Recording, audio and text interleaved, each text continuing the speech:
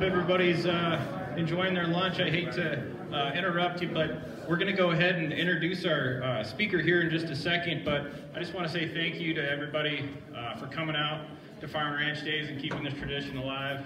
37 years, and I'm just, I'm just, it's awesome to see uh, and, and amongst all the struggles we've had this last year, to see everybody here, it's, it's just awesome. So thank you for being here for that.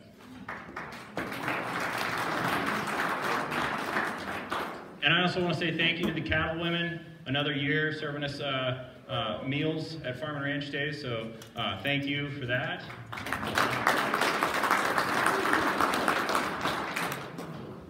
Um, we, uh, the cattle women did, uh, there are, uh, you guys should have your raffle tickets. Um, so go ahead and take them out. Uh, there's a couple bundles of cattle women uh, napkins that we're going to hand out. We'll have our speaker, uh, Peg, go ahead and draw us a few of those.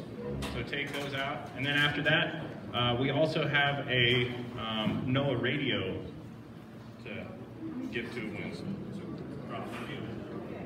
Two of them for now. Two of them for now. That's okay. So, for the first one, for the napkins, number 1249828. Anybody win? 1249828. Okay.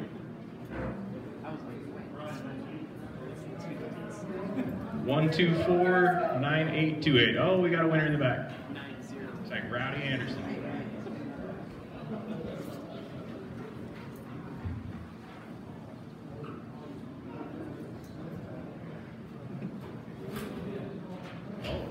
Oh, nice.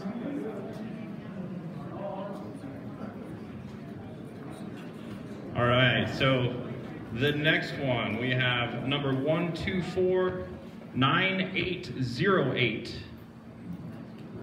One two four nine eight zero eight.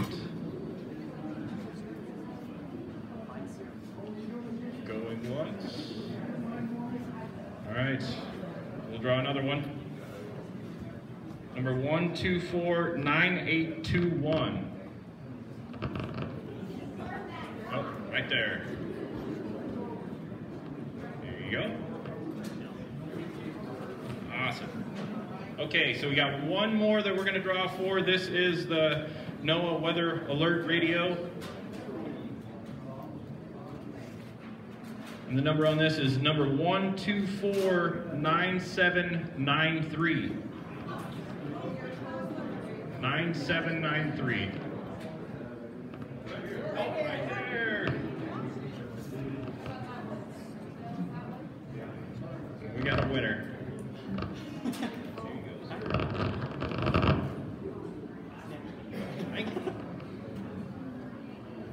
All right, and I also wanted to recognize we've got Pam Uline from Senator Barrasso's office here today with us.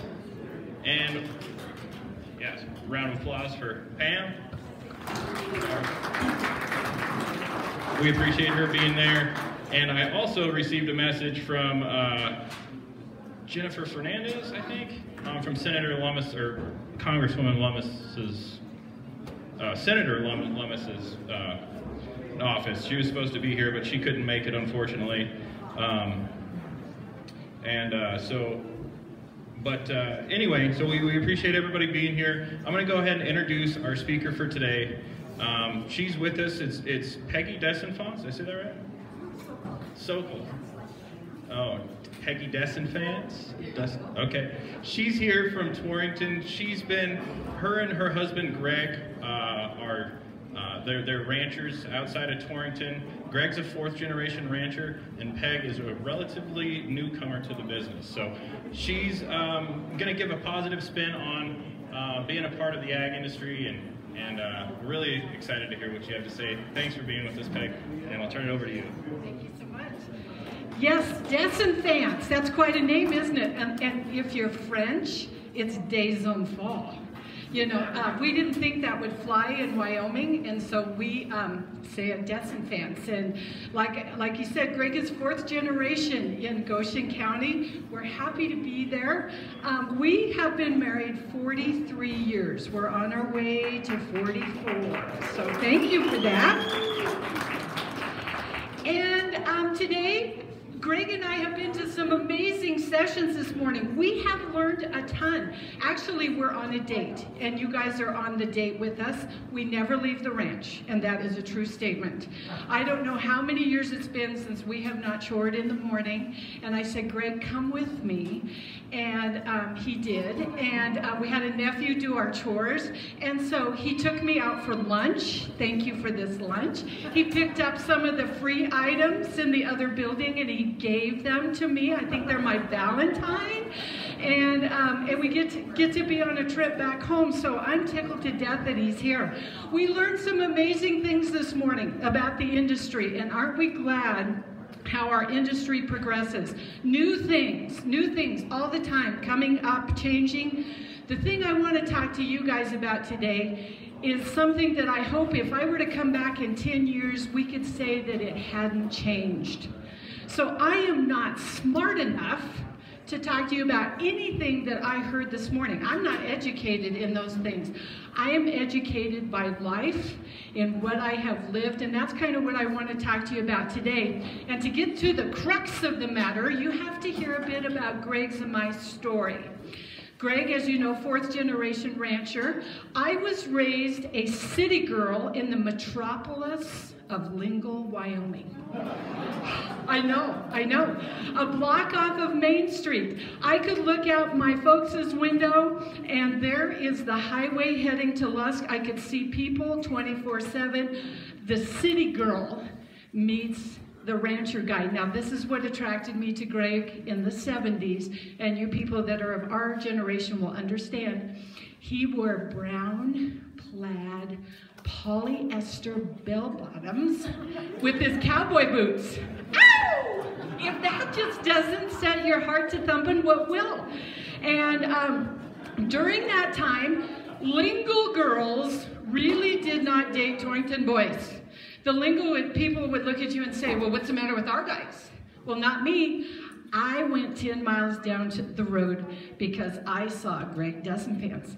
And actually, Greg and I met in 4-H. God bless America for 4-H. I am not even kidding you. I love the program. I love what it teaches. I love the values of it. I love everything about it. But I really love the fact that I met my sweetheart there. And here's the cool thing. You wouldn't, I don't know if they even still do stuff like this, we were in a clogging club. And by clogging, I mean that kind, you know, where your feet moved and, and your body didn't. And our kids and our grandkids said, you did what? And why did you do that? I don't know why or what we did, but it was awesome. And I learned to clog because Greg was clogging. And so, I mean, what's not to love about that? So I fell in love with Greg. We dated in high school. We went to two years of college. And then we got married. June 11, 1977. Picture my man in polyester pale green for our um, wedding, you know, that polyester thing. I know, I know. Can you feel it? You can. You can visualize it. Actually, I know you did. And you know what? About a week later, I felt like I had died and not gone to heaven. You see, um, I knew the head of a cow, and I knew the tail of a cow, and that is as much about agriculture as I knew. Now, I knew a little teensy bit about um, uh, crop, that kind of thing. My dad was the head parts man for Rose Brothers, in the day when people all over the United States flew into Lingle in their little planes and landed on the cemetery road to pick up parts for my dad at Rose Brothers. So I knew that certain times of year my dad was really busy. That's what I knew about agriculture. You know, I knew a little bit about the farming thing. Ranching was foreign to me. So we moved to our new home 27 miles, 25 miles north of Torrington, two and a quarter east, Road 118, by the way, in case you ever want to stop for coffee. And we are just off of the Nebraska line. We're in the flats. You can see forever. People would kill for the view that we have, and I hated it. Now, it would surprise you that I am a social person. I love to visit. I love to have a cup of coffee. I was raised in a home with a rotating door. There were people in my home all the time for that kind of thing. And I moved to the country, and there were no people. And Greg was gone a lot, and, and, and it, was, it was terrible. I hated it. And right off the bat, I, I formed an opinion of agriculture that wasn't good. I didn't like it. Now, some of you might say, well, did you not know before you married him what you were getting into? I, number one, I didn't. And number two, I didn't care. Remember, I was in love with the guy with the polyester pants. That's just the way it goes. I don't care what he did, but that's the way it went. So I moved into a foreign country, Prairie Center, Wyoming. That's if you hear that, that's that's my people out there. I uh, moved into a country that spoke a foreign language. Now, if you get nothing out of this today, you might tell your sweetheart when you go home, I'm so glad that Greg has to put up with her and I don't. Okay? Because you're not going to probably believe some of the things that I did not know that you were born knowing. So the language was one of them. Greg would say to me, We're going to put the open cows through that gate. Are their eyes open? Are their mouths open? What part of them is open? You know, it was a language barrier we had. In the pasture, he would say to me, watch for the bull holes. And I'm driving 90 down there and boom, hit a bull hole. And he, I didn't realize that's what that was because my gaze was on the bull, on what I thought was the hole that I was supposed to be watching as I just bounced him off of the. I now had to learn what a bull hole was. Who knew that? Then he says to me one day, I want you to come out with me. We're going to test the bulls. Great. Will it be true, false? Well, is it a pop quiz? Do they know we're coming? I had no idea what, what that entailed. Now I know. Now I know. And I know with the bulls, when we're testing bulls, it's either pass or fail. I got that down now, but I had no idea it was, a, it was a language deal. And if you don't believe me on a language deal, you hand a bull catalog to someone who's never seen one and have them open it up. Now, if that's not a foreign language, I don't know what is.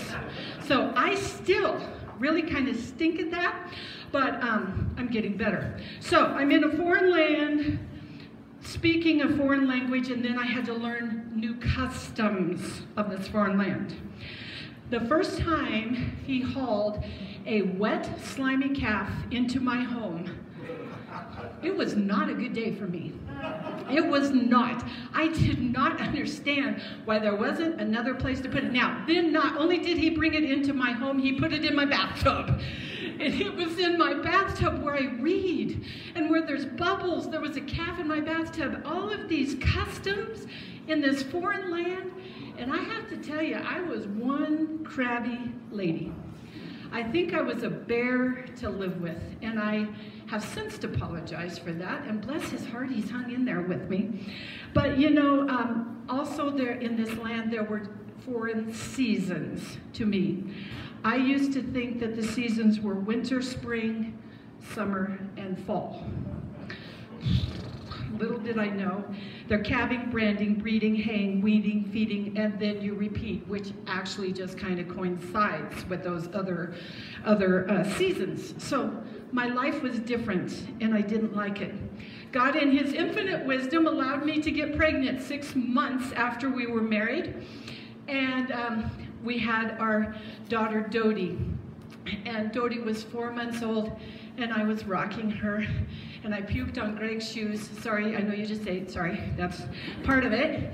And uh, I informed him. I said, we had this little conversation. I said, Gregor, you know, let's talk about having another baby. And um, he said, when Dode's two, let's, let's think about that. And I said, no, I'm trying to tell you I'm pregnant now. so our children are 13 months apart. So you see my um, education into agriculture um, didn't start until my kids were a little bit older because I was raising babies. So my, my introduction to the um, teaching of agriculture came as we taught our kids, and I was a part of that. Um, I wasn't a good mom for a while, and I wasn't a good wife. Because when I tell you I wasn't appreciating what we did and where we lived, I really mean that. And one day, Greg and I were out. Um, we were gathering cattle. Why is it we have to gather them in the cold and in the dark? I, that's another one of those custom things. I, you know, I don't know. And we were out gathering. I'm thinking that we were getting ready to ship. And I wish I'd written the day down because it was a life-changing day for me. And we were out and we were gathering. It was fall. It was cold and it was frosty. And being the good wife that I was, I was grousing around. Fine, okay, okay, okay, okay, okay, I got it, I'm coming. And we were out gathering, and all of a sudden the sun started to come up. Now, if you've been there, you know what it looks like. The sun came up on a frosty Wyoming morning, frost all over the pasture, all over the weeds. And what does it look like? Looks like diamonds, doesn't it? And I saw those diamonds that day, and for some reason, God spoke to my heart good and strong, and He said, Hey, look at what you have been missing while you have been grousing around. There have been diamonds standing right in front of you, and you have been missing them. Changed my life that day. And uh, so this is happening to me. I'm processing this thought while I'm trying to be gathering cattle, and I stop, which doesn't please my husband that much. And I'm sitting there having this moment while he's going, come on, come on, come on. And I, I'm sitting there, and here he comes. He gets up there, and he goes, what are you doing? And I said, but there's diamonds, Greg, there's diamonds. And he said, could we talk about this later? I said, sure. And then we had to gather the you know, and all that kind of stuff. But that day changed my life. I became a better mom, not overnight. I became a better wife, not overnight. You know, I was I was very busy with two kids 13 months apart. And my days with them were not always fun. And I learned to look for the diamonds in those days with my kids. I am not a Pollyanna um, bubble, um, what am I trying to say, uh, person. Not everything is not always good. But I want us to know and remember today, life is hard, but God is extremely good, and there are diamonds everywhere that we look. So let me give you a few examples of um, things that Greg and I have gone through that we've been able to find diamonds. We, um, in Prairie Center, five years ago, had a 25,000 acre wildfire. You maybe knew it as the auctioneer fire. And Greg and I are, are neighbors with the auctioneers. Hot rascal. Auctioneers lost over 100 head of cattle that day. And we fought that fire long and hard as Greg and I are on the fire department there. Greg and I took a stand on uh, Rustin Ross' home. The fire was coming. We had a tanker that stayed with us. And um, it was very doubtful that we could save that home that day. And we threw up a one second prayer and it sounded like this, God help us. and that was all there was time for. And um, as this fire came, and Rustin had done a really, really, really good job of mowing. So I think they had a, a, a, fire thing that said, you know, keep mowed around your place. Rustin had done a really good job of that. And when the fire got to his fence, it was as, it as if it took a breath and we were able to get a jump on it and we were able to save his home. We fought long and hard that day with many, many other people. And as we made our way down to the auctioneer homes, which were saved, Greg said to me, he said, I need some ibuprofen. And trust me, I keep a well-stocked truck. That's just who I am. And I reached for the ibuprofen. And then it was that I realized that everything in the front of our fire truck was melted together. Everything. That tells you how hot it was. And we crawled out of the truck at auctioneers, and I tell you what, as the adrenaline leaves you, you get pretty doggone tired, don't you? If you've been there, you know. You get pretty doggone tired. And we crawled out of the truck, and who was there But some of the ladies from Niobrara County, and what did they have with them? They had eyewash, they had ibuprofen, they had a cold drink. Now, let me tell you, the situation didn't change, just as it didn't change. My situation didn't change the day that I found the diamonds. I still lived in the foreign country, but my attitude changed. My situation didn't change the day of the fire. It was a terrible day. But man, there were diamonds and diamonds and diamonds that were uncovered that day that you would, they were maybe soot covered, but they were there. Not one life was lost. Very, very close. Our friend Rodney was in the hospital for weeks and months and uh, actually a year ago had his leg amputated from injury from that fire, but his life was spared diamond after diamond after diamond. So we've been through things like that. I worked in the Niobrara County Extension Office when the flood came through. Whew, that was a doozer. And I saw people from all over the United States come into Lusk and help those guys. The situation didn't change. They were in the middle of a terrible, terrible thing. But look at the diamonds that they found everywhere. Their diamonds were waterlogged, not charred. So let me tell you about a day in my life, and I think you will. I think you're gonna. I think you're learning, and you're gonna find the diamonds. I wrote this about my dad. The question was asked before branding, Peg, do you think I can pull the rope? My dad had pulled the rope at our sweet pen for years, and he knew the answer before he asked me, but he asked it anyway. And I said, Dad, I don't I know you can't pull it for all the cows, but for a few, I know you'll do great. You come out and we will give it a go. We were down to the wire on the cows. To be exact, there were three cows left and still no dad. I finally saw him driving slowly down the hill. As he approached our crew, they came to a standstill. He drove his car through the calving lot. He parked with great difficulty, and with great difficulty, he got out. He made his way to the rope, not an easy task. On this particular day, my dad was 93. Tears were streaming down Dad's face and as well as mine. He pulled that rope, and in those three cows came, calm, one at a time. Dad's tears weren't tears of sadness for what he was no longer able to do, but they were tears of thankfulness that he was able to pull the cow, the rope for three cows. His last remark as he left the corral was there. Now I've worked, I can eat. My dad loved to work and he loved to feel productive. And until the day he died, that was his attitude. It was the last time that my dad pulled the rope. It was, and I knew it was going to be.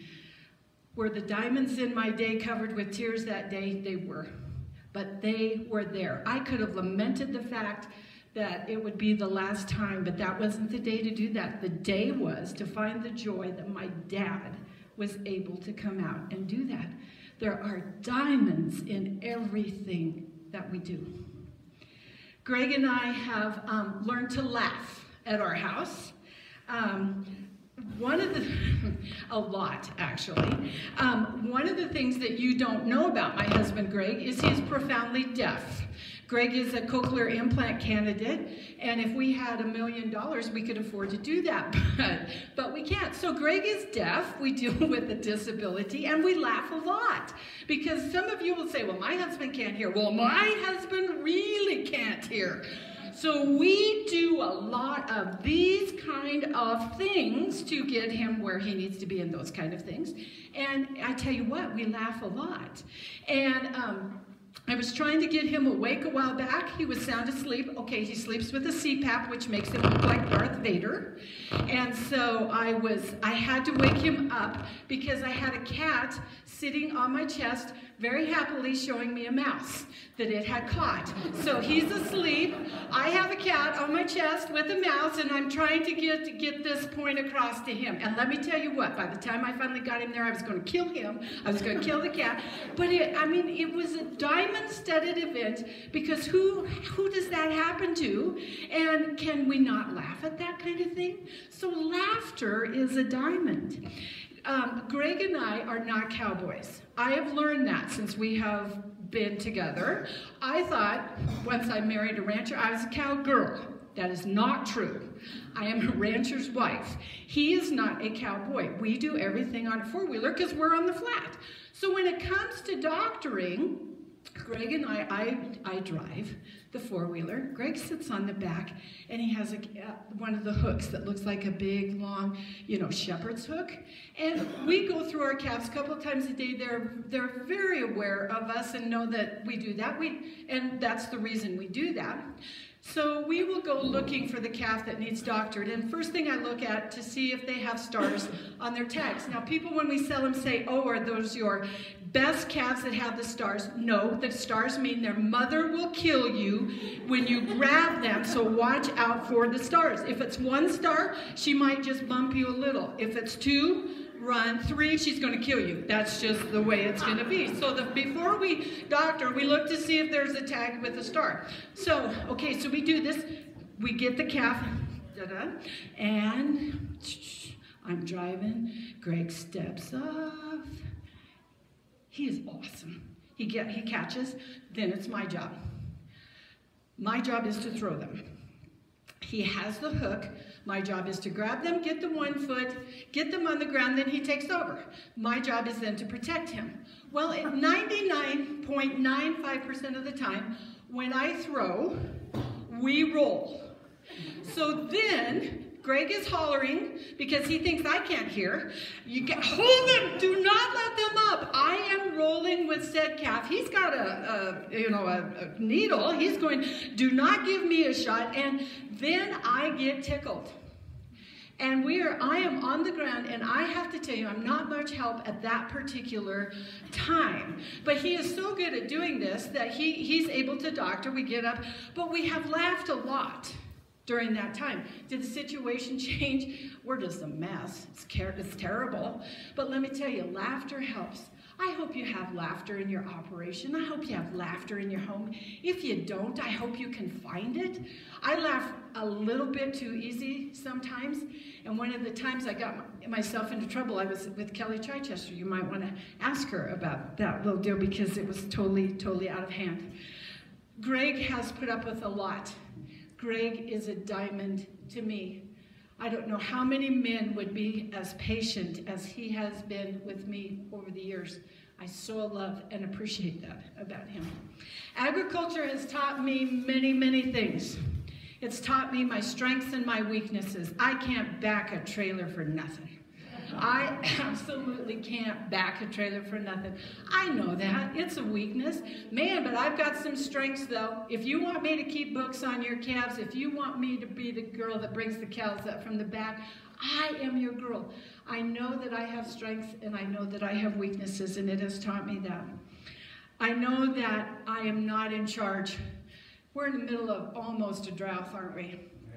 Ah, man, it's not looking good.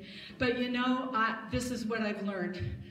Nothing that we can do can change that. I can do every rain dance. I can stand on my head. It's not pretty, but I've tried. I can hang a rattlesnake on the fence and do all those kind of things. And nothing that I can do can make it rain. Totally out of my hands. But I know that we're stewards of what we have. And that's a diamond to, to know that. That's a diamond to know that. I know um, what it is to educate children. I love now, now that I know more, I am able to help pass that along. Now, here's the reason I know we need to be doing that. Our granddaughter Brinley brought a friend out to our house, and you're not even going to believe this story when I tell it to you. She brought a friend out, and when they bring a friend, I try to teach them one thing while they're there. And the wind was blowing loopity hoop, and I said to them, Why am I so happy about the wind today? Because it was summer. My goal was to get them to think about a windmill pumping water. Okay, that's my goal.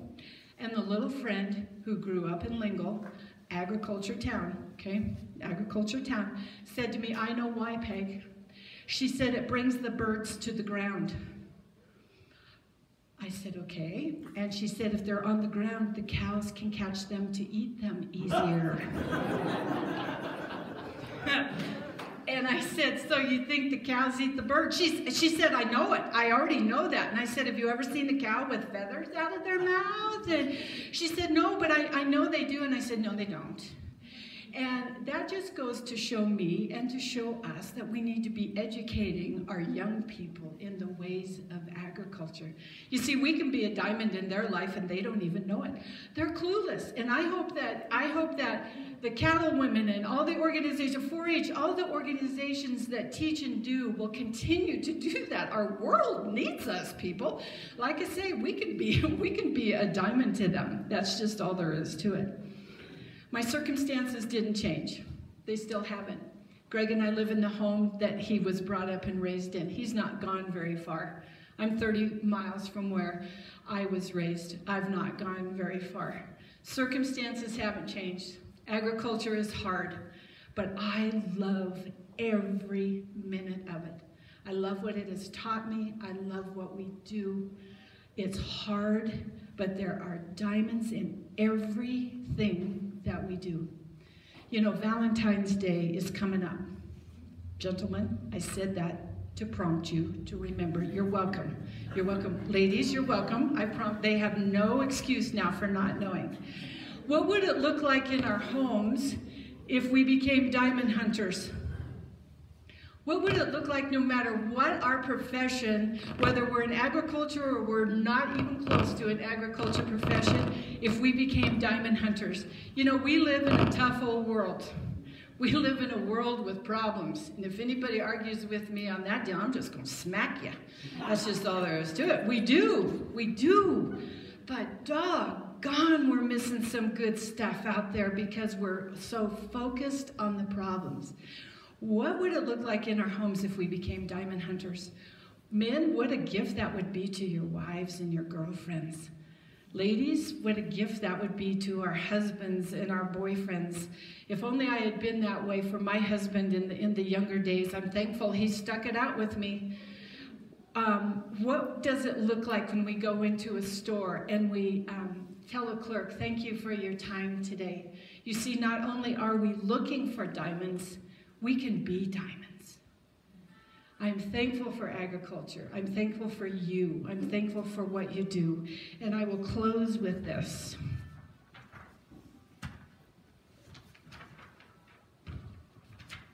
I write a column for the Torrington Telegram and for the Niobrara County paper. And this was a couple weeks ago, and it's my hope for you. May the ice in your tanks be thin and the wind in your face be a gentle breeze just enough to turn the windmill and to make a pump. May the gentle rains come and the hay and the grass grow knee-high. May your calves be born healthy and, and strong in weather that's fit for all. May the snowdrifts be soft and the four-wheel drive in your truck work as it should. May the lightning always be accompanied by rain.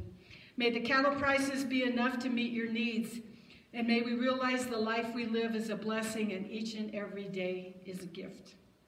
When the ice in the tanks is two feet deep, the wind is blowing, and the temperature is minus 24, may we realize that this is a short season and that this too shall pass.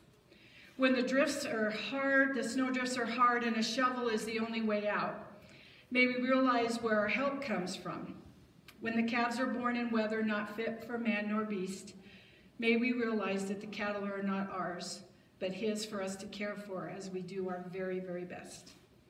When the rains don't come and there is no hay, may we look to him for wisdom as to how to and what to do. And when we are nervous about the cattle markets, may we assess our needs and our wants and rejoice that our needs are always, always met. When rain doesn't come with the lightning, May we remember he has trained and prepared neighbors and friends who can help us. May the senior saints, that's what, that's what I am, a senior saint. I am not old. I am a senior saint, just like some of you here. May the senior saints gain new knowledge from the young. And we did that this morning. Thank you for the knowledge we gained this morning. May the young listen to the wisdom of their elders as they have lived and learned.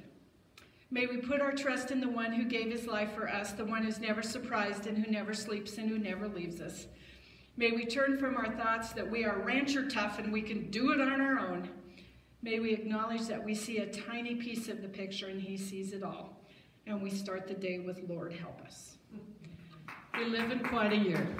We live in quite, quite a world. It's diamond filled.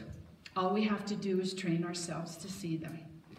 I hope if I were to come back and speak with you in 10 years, nothing would have changed other than we've gotten better about it. We know the industry will change and we progress with that. But my thought is if we can become diamond hunters and if we can become diamonds ourselves, our world is going to be a much better place. So I thank you and I leave you with that.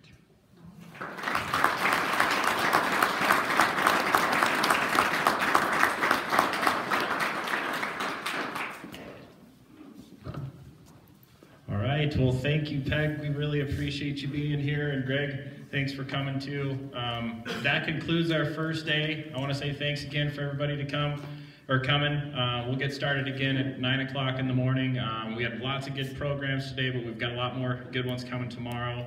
Uh, thanks again to the Cattlewomen. Thanks again to uh, Farm Credit Services. They sponsored the, the uh, speaker today. Um, and uh, we'll see you all tomorrow. Drive safe going home, and thanks again.